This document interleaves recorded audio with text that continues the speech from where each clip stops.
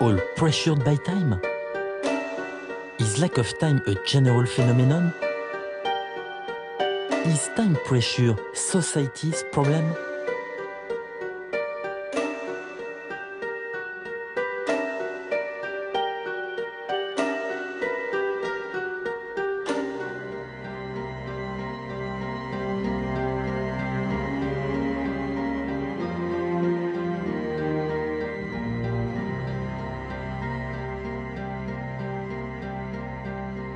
The research looked at whether the, the pace of life, the speed at which we're living, was increasing around the world.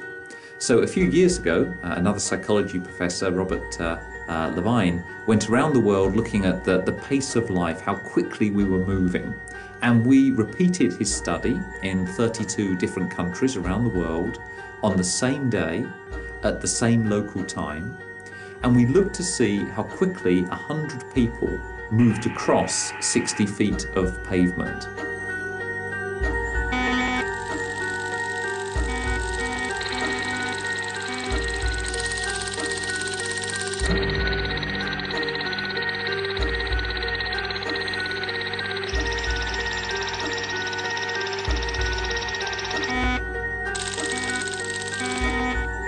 And from that data, by comparing it to the data that we had from 10 years ago, we could see if people's lives had speeded up.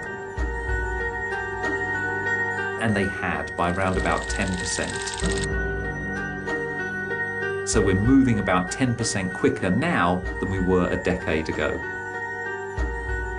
There has to be a point at which we're going to stop increasing because otherwise if we become faster and faster, it, it's just going to be crazy at, at some point. So we may have reached that point. It may be that we are now living as quickly as we can live. But have we reached our limit? Do we already walk as quickly as we can walk? It's not the opinion of a London association which is campaigning for the introduction of a pedestrian fast lane on Oxford Street, one of the busiest streets of Britain. Jetta Rail took part in the campaign.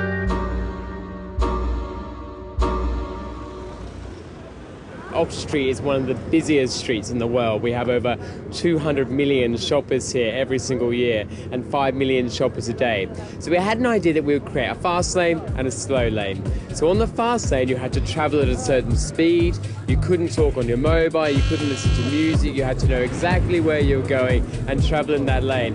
And we would have officers that would patrol to make sure it was going that fast and we'd also have cameras through the CCTV that could monitor the speed the people and make sure they were adhering to those rules and potentially fine people if they weren't going in the pace they should be. Obviously, if people uh, are looking at doing other things like listening to music or playing with their phone or their Blackberries, it's going to slow you down. So again, we don't want you in those lanes.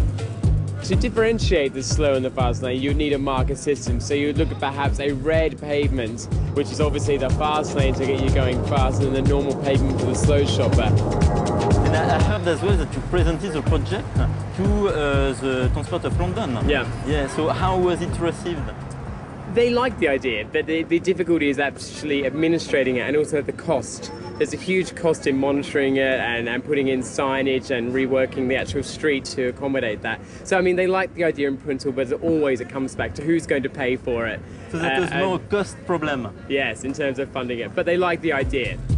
But if the project has the favor of the authorities, are pedestrians ready to accept a fast lane on the pavements? I think that's good for the people that work in London because they obviously need to get from A to B a lot quicker. If the society wants you to walk faster, then you really should walk faster. You are not sure that slow walker could get fined because they are too slow. Well, I mean, if it's a medical issue, I, I understand that, but you know, maybe they need to walk faster. And so- Better healthy. It's healthier.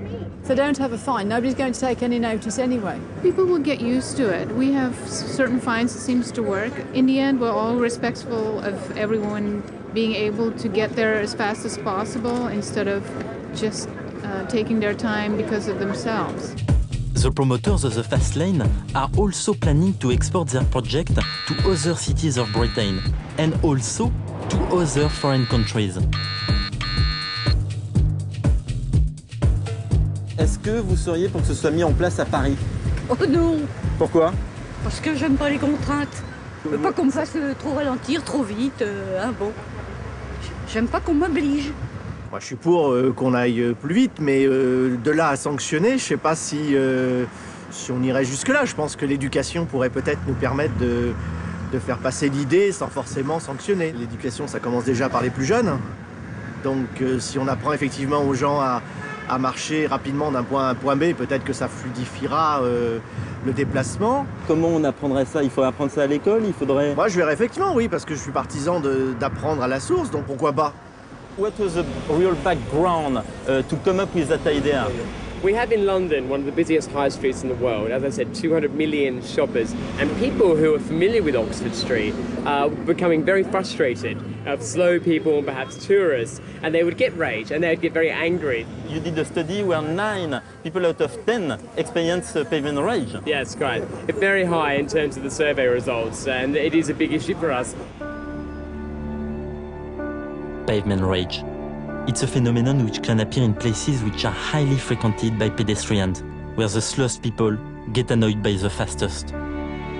If it stays level-headed in general, it can sometimes go further. A first victim has learned this at his cost, shot to death because he was too slow on the escalator.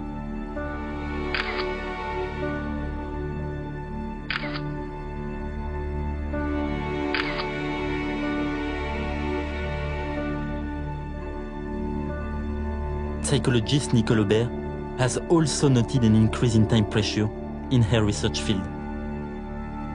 Dans les recherches précédentes que j'ai menées,